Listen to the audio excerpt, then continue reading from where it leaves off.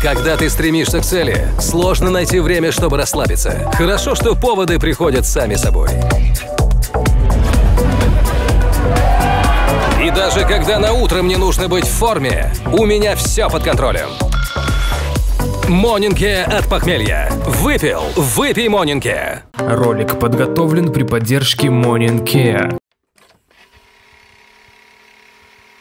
Ну что, дорогие мои, вот уже в новом году вы по-прежнему слышите мой так надоевший всем голос. Эх, понимаю вас, но как вчера отдохнули, скажите? Надеюсь, не выпивали? Выпивали? Эх вы, ну как же так? Ну ничего, у вас есть я, тот, кто всегда поможет. Добро пожаловать, это 10 способов борьбы с похмельем со всего мира. В некоторых европейских странах похмелье лечат с помощью супа. В данном случае речь пойдет о супе из требухи, фу, которая вместе с субпродуктами весьма питательна и содержит жирные кислоты, которые помогают против похмелья. В Америке, дабы утром быть свежим, используют коктейль устрица прерий, который снимает похмелье как рукой. Состоит он из сырых яиц, добавляют в устерский соус немного алкоголя, соус табаско, немного уксуса, соли и перца перец. Такая вот адская смесь, но быстро поставит вас на ноги. В Азии народным средством против похмелья, еще и моим любимым напитком, был кумыс. Это ферментальное молоко кобыл. Несмотря на то, что кумыс это все же алкогольный напиток, напиться от него крайне сложно. Видимо из-за этого он так помогает от похмелья.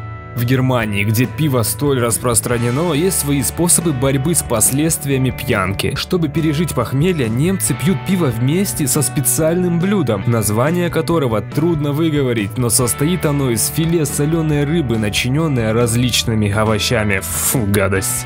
А в Британии способы борьбы с похмельем разрабатывают в университетах и по заявлениям одного из них самое лучшее средство – это сэндвич с беконом. Мясо содержит большое количество аминокислот, а хлеб и кетчуп обеспечат организм необходимыми углеводами. Плюс соль заменит ту, что вы потеряли при пьянке, а жир успокоит желудок. Главным способом борьбы с похмельем в России есть и остается рассол, который содержит большое количество солей и специй, что и помогает организму. Но есть и не такой распространенный способ, а именно квас по утру, который стопроцентно снимет похмелье. Сегодня есть современные способы борьбы с похмельем и нет смысла страдать фигней. Выпил. Выпей Монинке от похмелья. Достаточно одного флакона сразу после употребления алкоголя, если ты весело провел время. Но если ты покутил по-крупному, то выпей два флакона и утром скажешь себе спасибо. В Поднебесной, если на утро после пьянки у вас болит голова, то лучше средство, чем чай, ну попросту не найти. А будет еще лучше, если чай зеленый, главное крепкий с лимоном. Или они используют простую воду с уксусом или лимоном, все это поможет снять недуг. В Италии, где кофе – это один из главных напитков в рационе итальянцев, они пьют его при каждом приеме пищи. Но им кофе также помогает при похмелье. Крепкий домашний эспрессо помогает унять головную боль и поставить вас на ноги, даже если понадобится целый кофейник.